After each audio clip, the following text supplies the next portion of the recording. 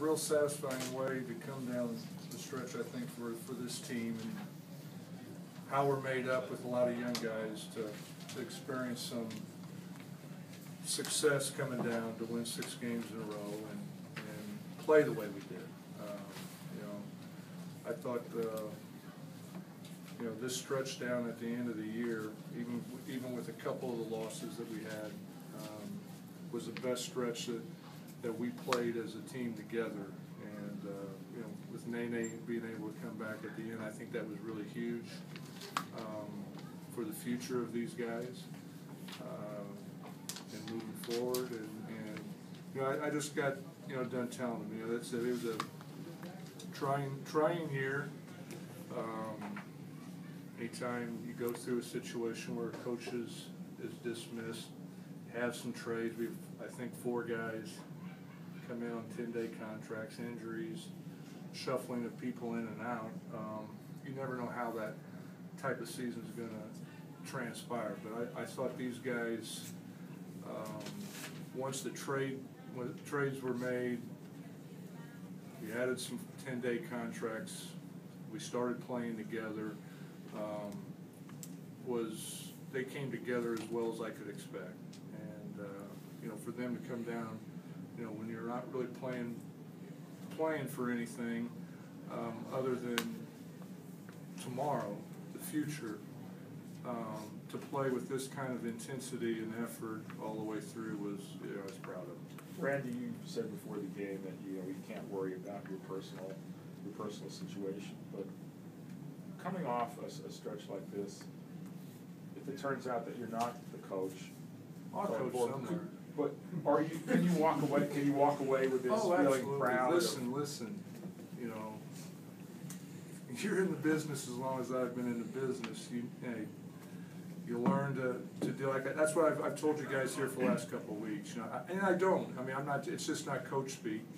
Um, All I, all I wanted to do was try to do the best of putting these guys in a position that their talents, uh, I could try to get the most out of put them in positions to succeed. And I tried to do that in preparing them for every game, and I think they showed that. I mean, that's all, I- that's all I wanted to do, you know, without, you know, being here, you know, in this condensed season, no practice, and, um, you know, I just wanted to try to make sure that we, we kept that boat afloat.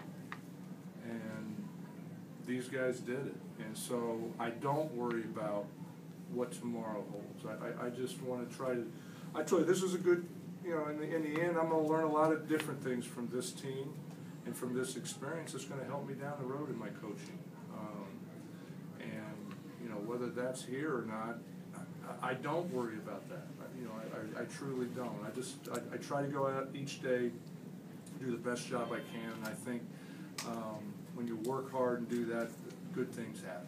What does this group need? Well, we gotta add some talent, we gotta continue to add players to this, this group, there's no question, you know. I don't know where our final tallies were, but, you know, we're one of the worst three-point shooting teams in the league. Um, You know, outside shooting, playmaking, uh, on the wings, you know, those type of things. I mean, we gotta continue to try to, I think, add pieces to this team now. And, and we did that through the trade, I, I think, and I think it's been evident. Um, I mean, we, we were night and day defensively, um, from when the trade went down to, to today. I mean, the point differential and what we were giving up to what we gave up in the twenty, how many games, whatever, twenty-four games, twenty-three games since the trade is, you know, not even funny. So, I mean, we added, now we gotta continue to do that. How gratifying is it to see the growth and maturation of John Wall in terms of his composure? Well, he did. I, I mentioned, uh, before the game, you know, sometimes people just watch John Wall play and they don't really understand what a point guard really has to do out there.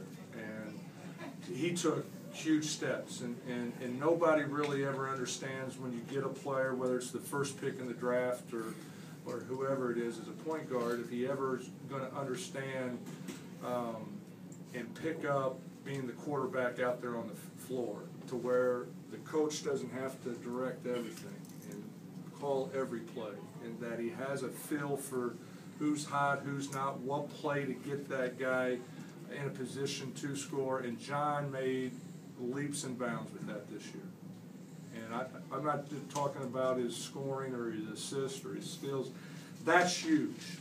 That's huge in being a top caliber point guard.